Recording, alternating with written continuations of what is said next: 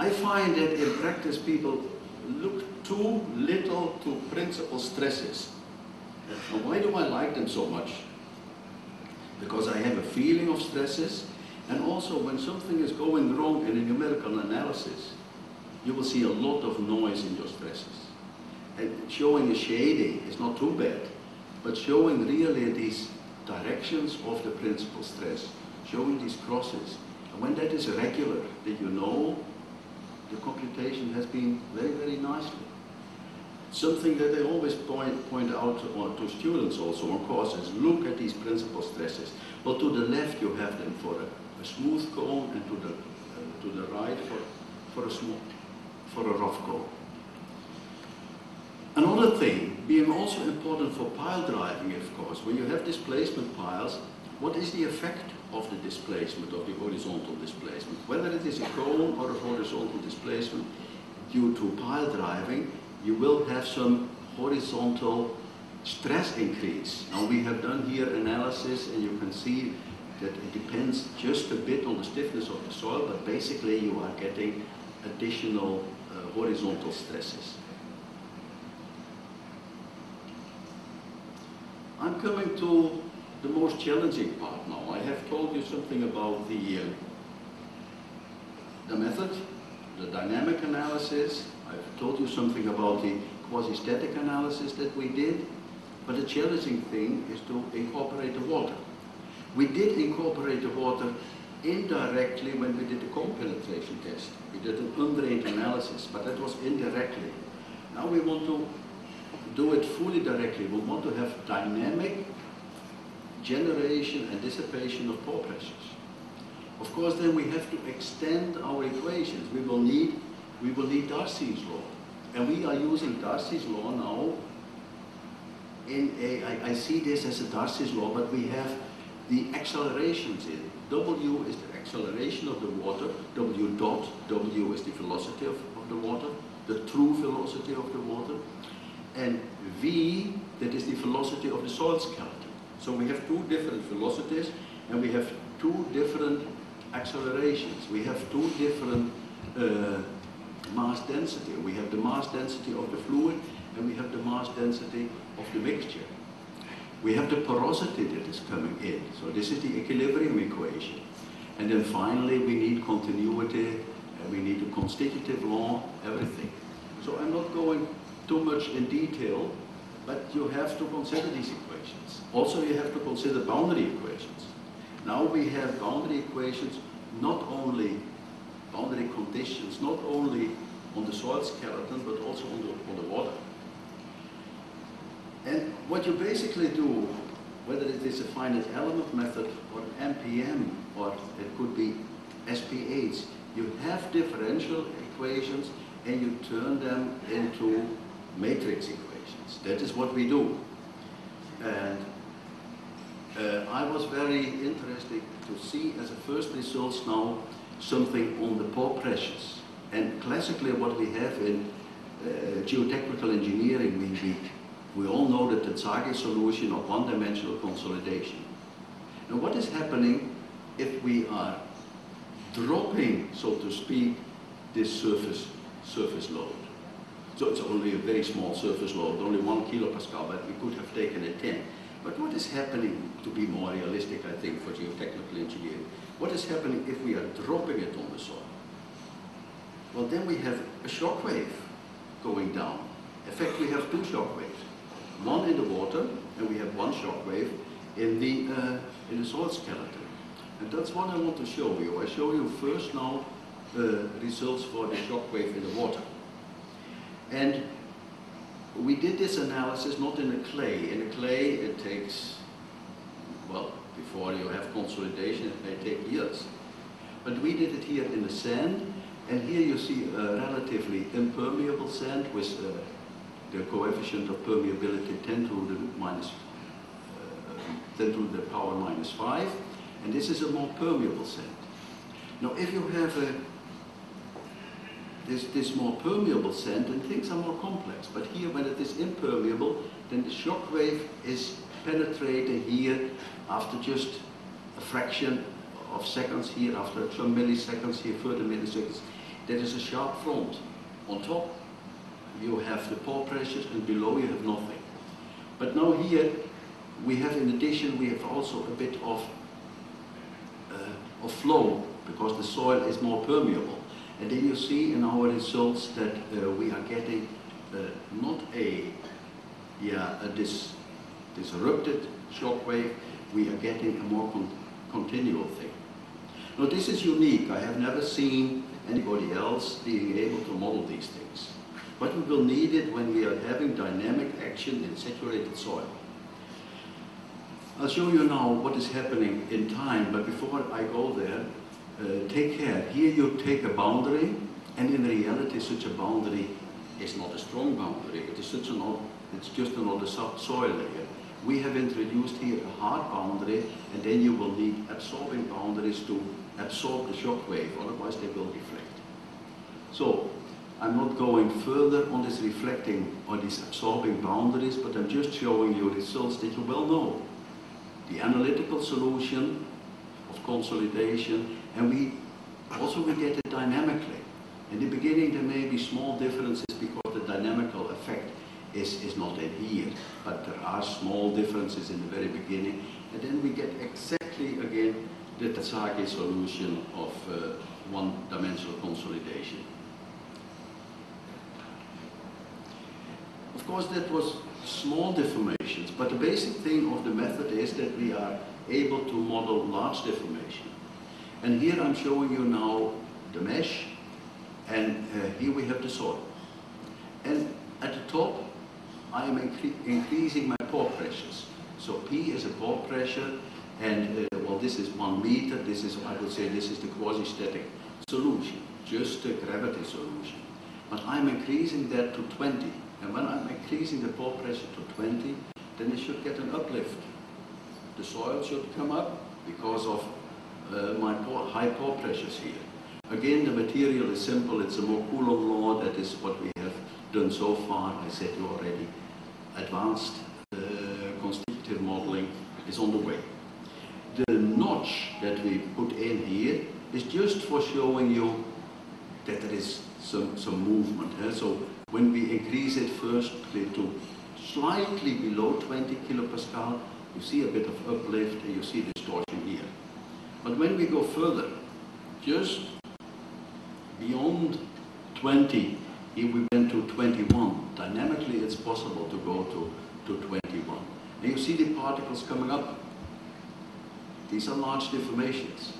So we have the effect of pore pressure being combined with large deformations. To the right, you see the, the pore pressures as we computed them. Boundary conditions, they are a bit difficult now because we do have boundary conditions on the uh, pore pressures as well. Not going to go into it too deeply. We have a challenging thing coming, and that is what I would like to show you. And this is a special interest now of Deltares. So in the Netherlands we have more than 400 kilometers of embankments and dikes, well sea dikes. On top of that we have the river embankments. But in contrast to the, uh, the sea defenses that we saw from Japan, uh, all these dams are earthen dams and in fact they are a bit flatter even. Typically this is 1 to 4 this is so it, it's a tangent, the tangent angle is 0.25. And uh, the major problem that we are facing in the future is that we have to reinforce our dikes. Of course, we have to increase them, and everybody is talking about an increase of one meter, but also the waves are getting heavier. And during a storm, the wave attack will be much heavier. So at the moment, we do have a protection mostly of bituminous concrete. So below the mean sea level, you have the big stones. Above the big sea level, you tend to have bituminous concrete, impermeable. Sometimes we use a permeable material. Uh, but the bituminous concrete is getting older and more brittle, losing ductility, and at the same time the waves are getting uh, stronger. So we will have to improve all our. And that's why we are doing, of course, in situ testing to see what is the quality of the, of the bituminous concrete. And on top of that, we have this pro project that we want to analyze it. Now, in analyzing uh, the stability of such a sea defense dike, the most important thing at the moment is the wave attack. It's not only the wave attack, it's also by a retreating wave that you may have uplift under the impermeable material. And finally, at some dikes, you may have erosion due to, um, simply due to drag forces on the material. Now the plans are that some dikes, they will get even bituminous concrete on top. Other dikes that will not be overtopped flooding that much, they, uh, they, they, they, will have to do with a, with a grass cover, but we want to analyze also this topic of erosion numerically in the future. At the moment not. At the moment we are focusing on the wave attack. So I'm showing you now the first results of the wave attack. By the way, it is of course again dynamic and uh, we are getting the forces from uh, CFD, computational fluid dynamics uh, calculations. Finally, we also want to model with MPM, we want to model the water. But at the moment, we are getting our results from uh, this volume of fluid method, not by MPM, and that's where we are getting this distribution and also this load. Now, of course, the loads are cyclic. Cyclic loading, I think that is a challenge especially the waves, they come and go, and it is such a long term. So our uh, modeling of cyclic loading is very, very important. I saw in my session yesterday, I saw the model of uh, OCA being used. I appreciate that model very, very much. But of course, that is then, say, for earthquake engineering, where you have maybe 50 strokes, but we may have a thousand. So this is also a challenge to continue research on uh, cyclic loading. It is all 3D what we are what we are doing. So you, you can see it here. So in this case we are uh, simulating just a disk of, of the soil. And here we have the bituminous concrete, typically with a thickness of 30 centimeter. Can also be in some cases 20 centimeter, but for the analysis we used 30 centimeter. Again, the soil is modeled simply by Mohr-Coulomb we are working, as I said, on more advanced constitutive models. Uh, boundary conditions, well, we have to take care, of course, that we have absorbing boundaries for the dynamics. Now, I'm showing you here pore pressures, excess pore pressures. And the excess pore pressures, they come and go with the waves.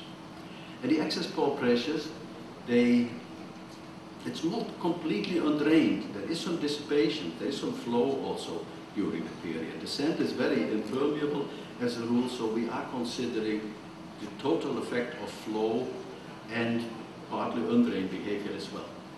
But the final aim is to see the deformations. And uh, here you see then uh, results for 10 waves coming and you see that we have in each wave some remaining soil deformation. So in color you see the soil deformation. Finally here we go to a soil deformation of the impact point here we have 5 centimeters. I will show that to you. You see also some deformation here. You also see that our boundaries are a bit too close, but do not forget we are just preparing things for the future. Eh? We want to go on with this project for the com coming two years at least, and we will do new analysis where we take the boundaries a bit, a bit wider. Here you have the five centimeter that I was uh, indicating. And finally, I'm showing you a real profile.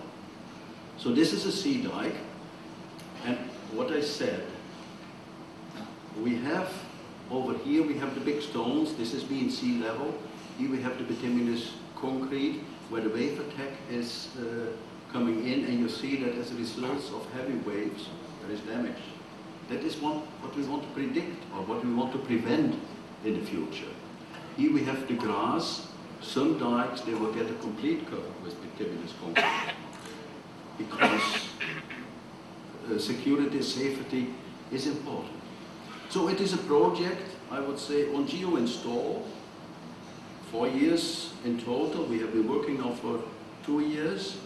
But after the first successes, this sea defense thing has been added. And we are working on the wave attack. We will also be working soon, I hope in one or two years, but it has not started, started yet.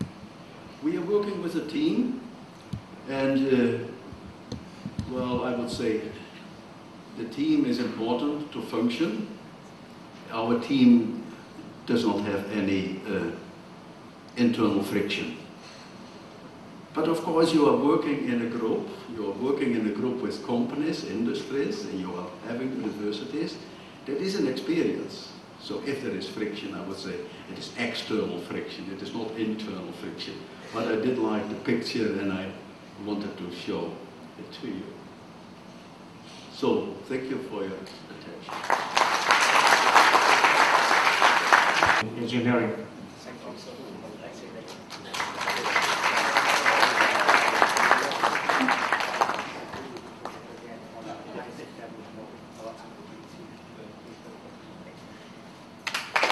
Thank you, Professor Tian.